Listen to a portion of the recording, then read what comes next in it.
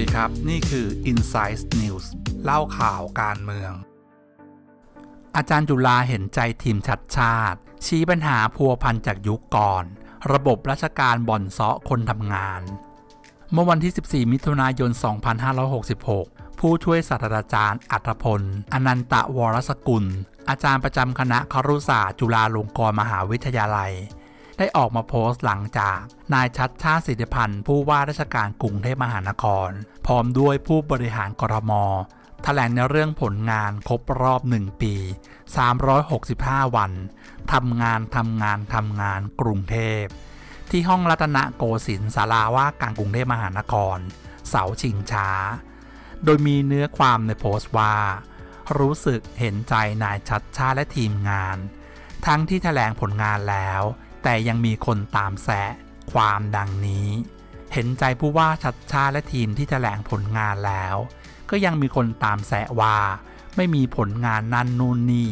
ได้เข้าไปช่วยงานการศึกษาอยู่บ้าง จึงพอรู้ว่าปัญหาเรื่องงบที่ทีมก่อนหน้านั้นตั้งไว้หมดแล้ว ตั้งแต่อาจารย์เข้ามารับตำแหน่งจนถึงวันนี้ ยังไงก็ต้องใช้งบตามแผนเดิม โครงการเดิมๆ งบที่ตั้งใหม่จะได้เริ่มหลังจากตุลาคม 2566 หลายงานก็อาจจะยังพัวพัน ไปอีกรอบหนึ่งรอบปีงบประมาณด้วยซ้ำงานที่ทำทำกันตอนนี้ ก็ต้องอาศัยเครือข่ายและภาคเอกชนช่วยสนับสนุนเยอะมากทำให้ยังไปสู่การทำงานเชิงลึกแก้ปัญหาเชิงโครงสร้าง หลายๆ เรื่องได้ยากมากๆ เฉพาะส่วนงานที่ผมเข้าไปช่วยนี่สารพัดผู้คน ทั้งร่วมด้วยช่วยกันแบบไม่คิดค่าตัว แถมยังช่วยกันวิ่งหางบจากเครือข่ายนั่นนี่ เรียกว่าใช้ทุนสังคม ทุนเครือข่าย เพื่อให้เงินมาทำงานกันเต็มแม็ก งานที่ทีมอยากผลักดันอยากรื้อจริง ๆ ยังมีเรื่องต้องไฟอีกเยอะมาก ระบบราชการที่ผูกทุกอย่างไว้กับ KPI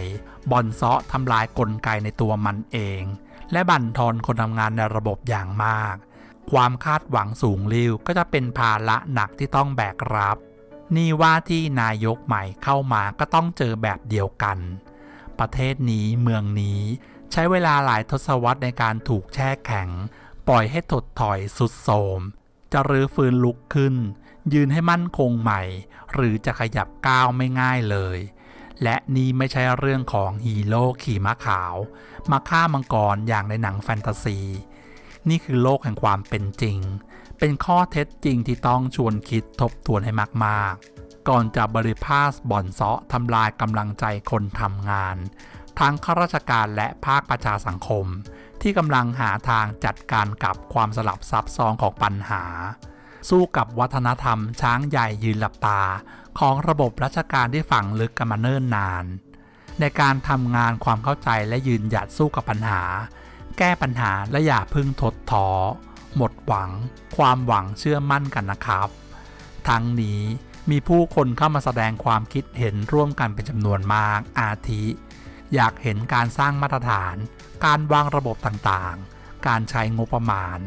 นอกจากนี้บางส่วน แสดงความขอบคุณ ผู้ช่วยศาสตราจารย์อัตรพล อ่านแล้วมีกำลังใจลุยต่อ และขอเป็นกำลังใจให้ ผู้ว่าชัดชาติอีกด้วย ขอขอบคุณข้อมูลจากมัติชนออนไลน์ อย่าลืมกดติดตามหรือฝากคอมเมนต์ไว้ที่ใต้คลิปได้นะครับ ขอบคุณครับ